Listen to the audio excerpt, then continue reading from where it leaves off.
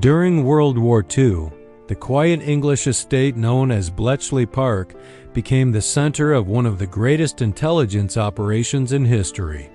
Inside its wooden huts, hundreds of mathematicians, linguists, and puzzle solvers worked day and night to break the German Enigma codes, messages the Nazis believed were impossible to crack.